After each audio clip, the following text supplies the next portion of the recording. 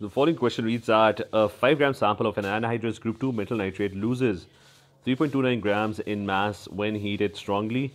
And you're being asked which metal is going to be present. Now it's a it's a group 2 metal nitrate so the formula of the metal nitrate I don't know which metal nitrate is. X would be plus 2 the nitrate NO3 would be minus 1 so the formula of the nitrate is going to be X NO3 twice. And when it decomposes the equation is going to be so here I've uh, constructed a general equation for decomposition.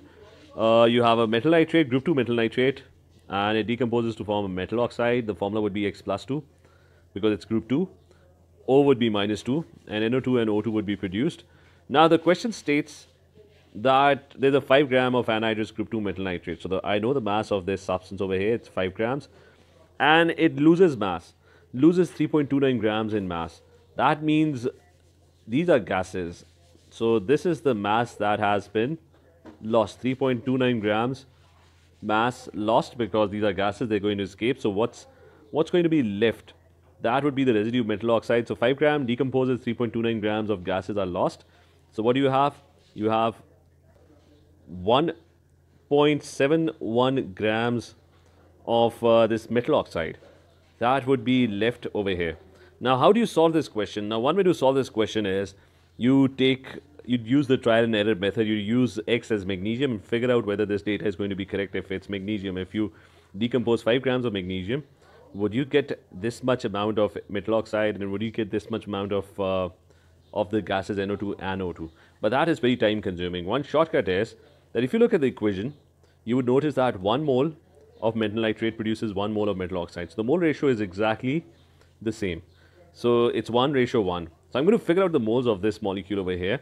The moles would be mass divided by the MR. The MR, we don't know what X is, so I'm going to take it as X. So I don't know what the MR is. NO3 I know. NO3 is uh, 14 plus 16 into 3 and twice, so that would be 124. So that's the MR. And I can find the moles of the metal oxide as well. Mass divided by the MR, which would be X plus 16 because, uh, again, I don't know what X is.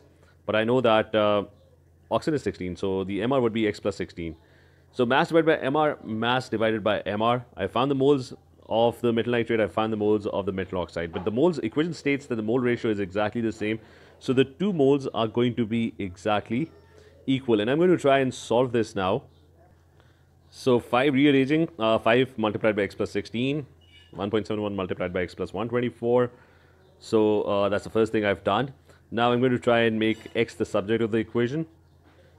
So here I've uh, worked out uh, everything and if I solve for x now, x comes out to be and my calculator the value that I'm getting is 40.1. So that means that the AR of x after solving this it comes out to be 40.1 and which so x is 40.1 over here. So which metal has an AR of 40.1? If you look at the periodic table it's going to be option B calcium has an AR of 40.1.